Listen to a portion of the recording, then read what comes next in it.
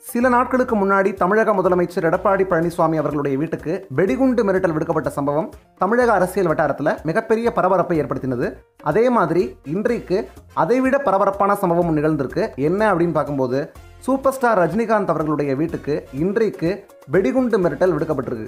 Chennai Poes garden இல்லத்தில் இருக்கக்கூடிய super star Rajinikanth அவர்களுடைய வீட்டுக்கு அந்த மிரட்டல் விடுக்கப்பட்டிருக்கு.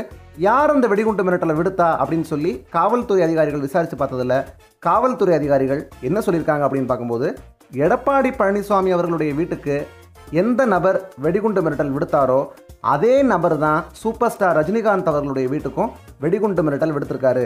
ரெண்டு பேருமே ஒரே நபர் தான் அப்படிங்கிற ஒரு தகவலை காவல்துறை அதிகாரிகள் தெரிவிச்சிருக்காங்க. அதாவது ஒருத்தர் அரசியலுக்கு வர்றது பிடிக்கல அப்படின்னா இந்த மாதிரி விஷயங்கள்லாம் பண்ணுறதுங்கிறது மிகவும் ஒரு கீழ்த்தரமான ஒரு செயல் தான் சொல்லணும்.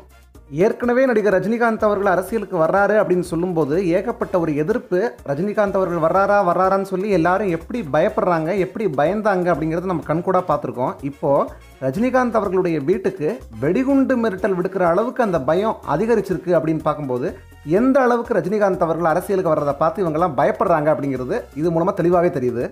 அரசியலுக்கு வருவேன் அப்படின்னு தான் சூப்பர் ஸ்டார் ரஜினிகாந்த் அவர்கள் சொல்லியிருக்காங்க. இன்னும் கட்சி ஆரம்பிக்கல. கொடி என்னன்னு சொல்லலை சின்னம் என்னன்னு சொல்லலை கொள்கைகள் என்னன்னு சொல்லலை. இப்போவே இவங்க எப்படி பயப்படுறாங்க அப்படின்னா வெடிகுண்டு மிரட்டல் விடுக்கிற அளவுக்கு பயப்படுறாங்க அப்படின்னா கட்சி ஆரம்பிச்சதுக்கப்புறம் எப்படி நடுங்குவாங்க அப்படிங்கிறது இப்போவே நமக்கு தெல தெளிவாக தெரியுது. அரசியலுக்கு வந்து நல்லது செய்யணும் அப்படிங்கிற ஒரு நோக்கத்தில் ஒருத்தர் அரசியலுக்கு வர்றாரு. அவரோட தேர்தல் ரீதியில் வாக்கு ரீதியில் மக்களுடைய செல்வாக்கு ரீதியில் போட்டி போட்டு ஜெயிக்கிறதுக்கு இவங்களுக்கு முடியல. ஆனால் அதுக்கு நேர்மாறாக ஒருத்தருடைய வீட்டுக்கு வெடிகுண்டு மிரட்டல் விடுக்கிற அளவுக்கு இவங்க எந்த அளவுக்கு பயப்படுறாங்க அப்படிங்கிறது இவங்களுடைய பயம் வந்து எப்படிப்பட்டதாக இருக்குது அதுவும் இவ்வளோ கட்சி ஆரம்பிக்கிறதுக்கு முன்னாடியே எப்படி இருக்குது அப்படிங்கிறது இது மூலமாக நம்மளால் நல்லாவே உணர முடியுது.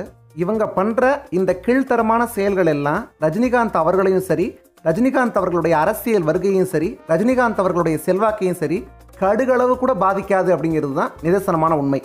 இந்த நியூஸ் உங்களுக்கு பிடிச்சது அப்படின்னா ஒரு லைக் போடுங்க ஷேர் பண்ணுங்கள் இதே மாதிரி வீடியோஸை தொடர்ந்து பார்க்கணும் அப்படின்னா தமிழ் பிழைக்கு சப்ஸ்கிரைப் பண்ணுங்கள் நன்றி வணக்கம்.